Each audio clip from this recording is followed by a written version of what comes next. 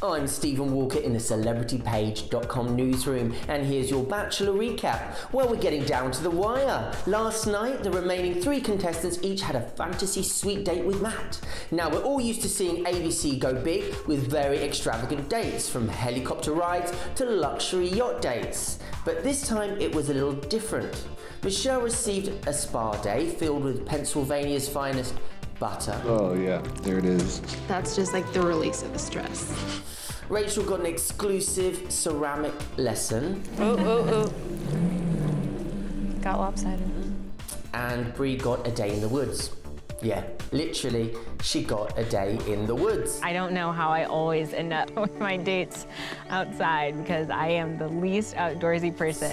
I mean, I know there's been a lot of controversy surrounding the show lately, but come on.